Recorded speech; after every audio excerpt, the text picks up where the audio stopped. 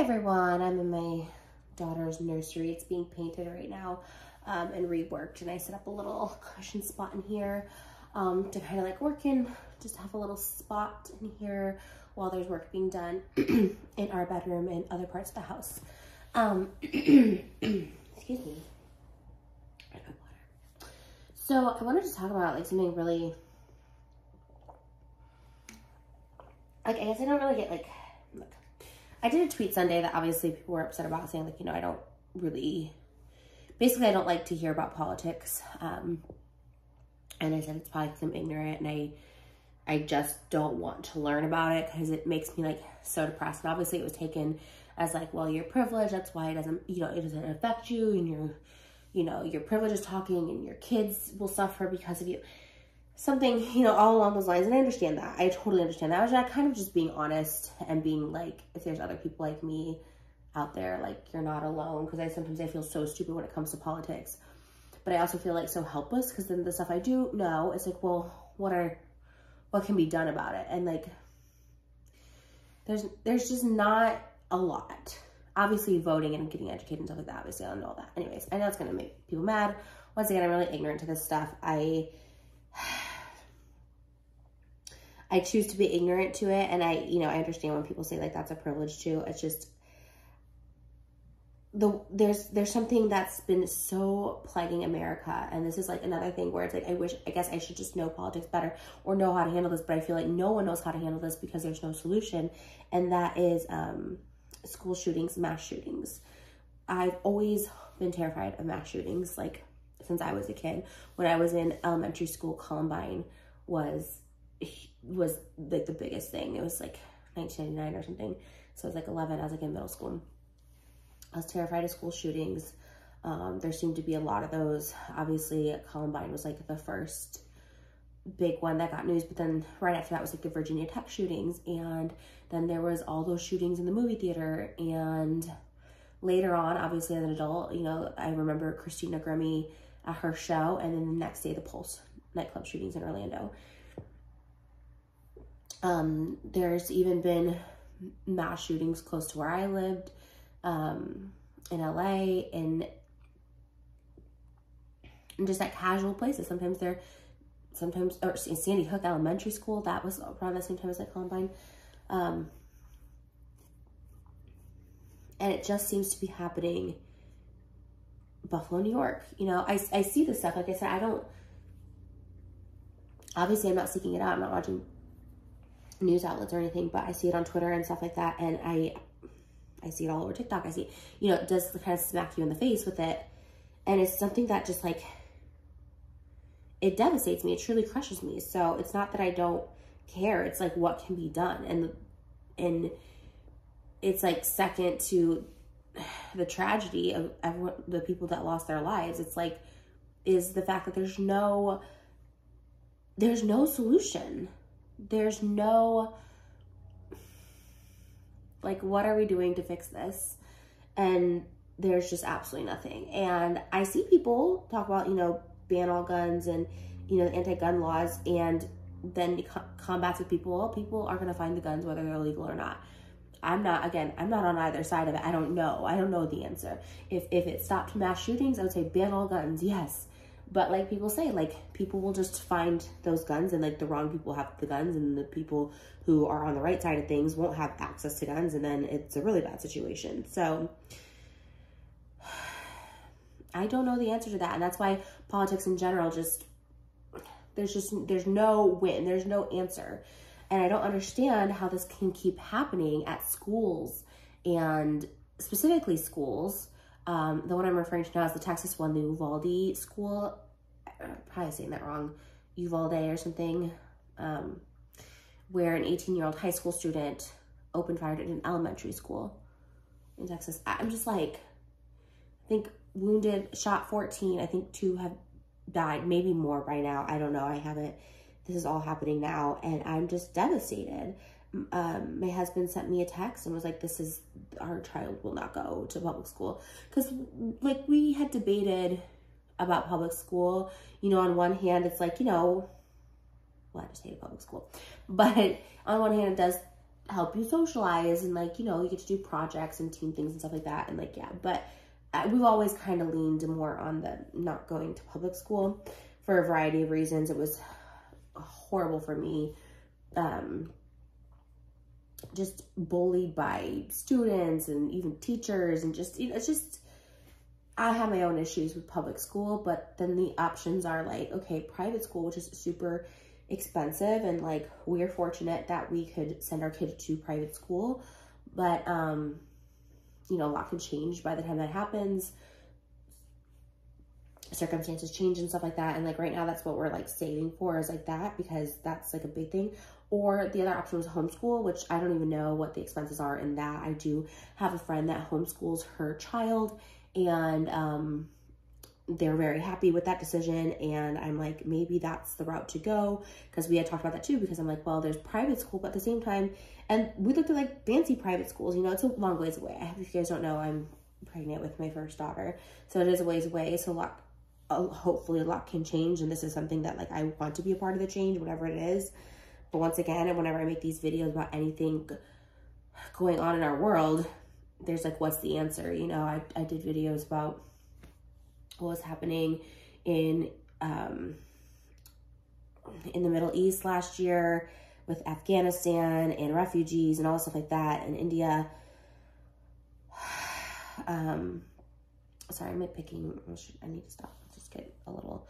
It's really working me up. Um, I'm just picking skin off my foot. It's disgusting, but um, you know, and then there's the homeschool. Like I said, I don't know the, I don't even know how home, like that option. Obviously, you worry about like the social, the social, you know, interaction because obviously they have to go somewhere and meet kids. Like you can't just hold them in a bubble either. You know, obviously through classes or lessons or public, you know, theater or whatever it is. You know, sports. Um, if they have that, I don't even know after all that stuff. But um, I know for us, this was like the final straw where we're like definitely not sending them to public school because why? Because we're scared they're gonna be in a mass shooting. Because it's such a it's such a reality and it's such a common reality. Like it just happens so often.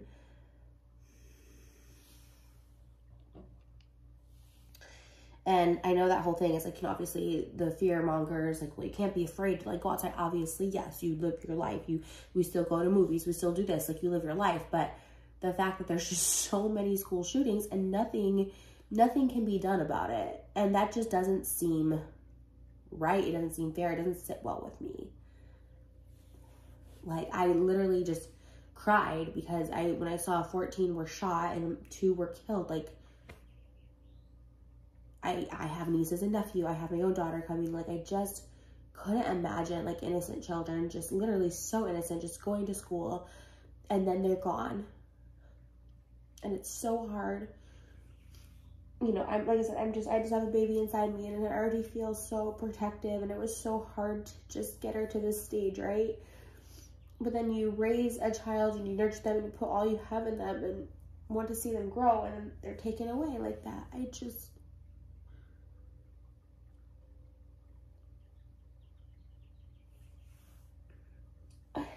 and I like I said I try not to talk about serious things because it really it's it, it, like triggers me this whole other thing. It sends me into like a paranoia, into this spiral of anxiety and depression. And I don't want you guys to feel that energy from me. You know, my one job is, you know, entertaining people, distracting people, escaping from the day-to-day -day life of this stuff, of the reality of this. I just feel um, once again helpless and I feel like making this video really doesn't even have a point other than like what what can I do you know I made a tweet that was ignorant and stupid and everyone came for me but never gave me a solution on like what can I do you know I voted and I feel like I voted for like the wrong person because I'm just I was so uneducated on so many things and now it's like this turmoil is happening in our country and I love our country. I love America. I love the United States. I love California. But this shit is just like so heavy. And I, again, just, I guess I'm making this because if you think I'm ignorant and stupid and not doing my part and not keeping up with politics, I'm asking you now, this is a, this is a hill I will die on. Like, I, how do I help? How do I, how do I change? What do we change about this? Because all the stuff I read is all conflicting. there's just no solution, basically. I just think, I, I just think they need to do away with public schools. You know? And I know that won't stop, you know, obviously, you know, people can go into a daycare that happened. They can go into, you know, a football game, whatever. I get that. But it just seems to be in these schools particular, there's a bunch of kids in like one spot. And then definitely more security. Like there definitely needs to be more security. We had no security at my school. You could just, anyone, literally anyone could just walk in. The doors were open during school hours. Anyone could just walk in and they just, you know, we pay so much in taxes. Everybody pays so much in taxes, specifically California. It's like, where do those, tax dollars need to go instead of building more freeways? Needs to go to like security in schools, checking bags, people at the door, like actual security people who like tackle people, not just people who I've seen things. There was a shooting in, in downtown LA actually, in a big tourist spot and there was a shooting and the security guard was running away. It's like, okay, well, we need to invest in people who are trained and know to like take down shooters, especially when there's kids involved, or close these schools. And then all those activities we do with our kids,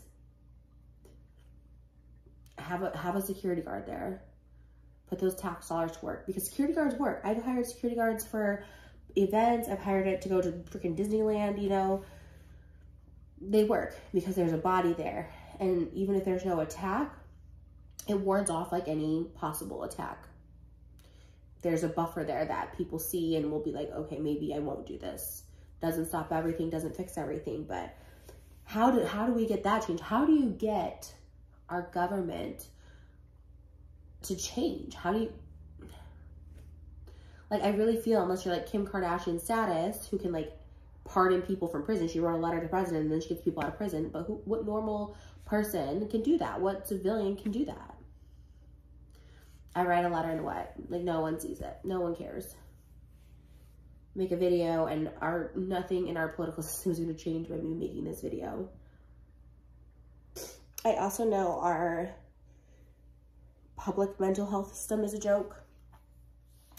People who go into um, mental hospitals, 5150, where they're forced into one because they're a danger to themselves or others. What, they stay there for three days. They're fed medicine that they probably don't need because no one diagnosed them. They start giving you medicine the day you go in there and there's no possible way someone would, could diagnose you with what's wrong with you. They just give you pills to take. There's no real class structure. You go and color for a little bit. You talk to a doctor for like five minutes. He's like, hey, you feel like unaliving yourself today? You say yes or no. Three days of that, if you say no, you're out. Three days of that, if you say yes, you stay in and get no treatment, no help. So, so these people who have these problems and do these things, they can't get help anywhere. They're a lost cause. Our kids are dying because of it. When I think about, I don't even think about it. Just just innocent kids, just innocent kids that haven't even started their lives. I just, it makes me so sad. Um, oh, I mean, to the point where I like can't even do anything today. I'm just like,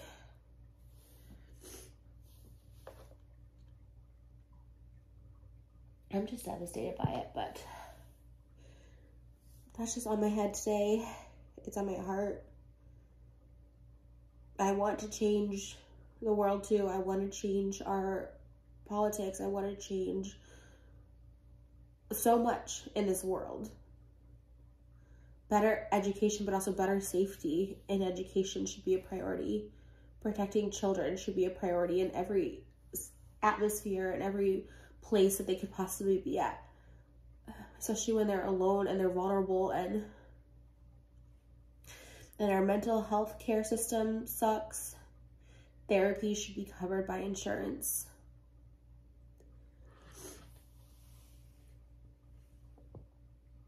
Um, but thoughts and prayers are great. I pray for every single one of those kids and their family. And I just, I pray that heaven is real and there's peace and there's a better life after this life. I really want to believe that. I really hope that's true. And that's why angels that are too precious for this earth are taken too soon. I feel, I don't know, there must be a reason because it just doesn't make sense. And it's heartbreaking.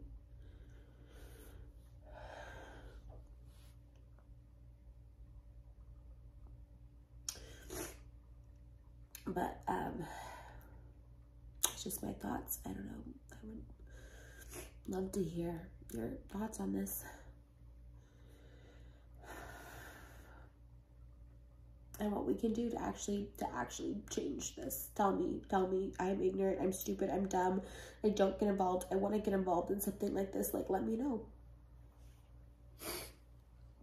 And stay protected stay safe and tell your children how much you love them and tell everybody how much you love them because this life is crazy this world is scary and it's precious and just appreciate every day with the ones you're with and just let them know how much you appreciate them.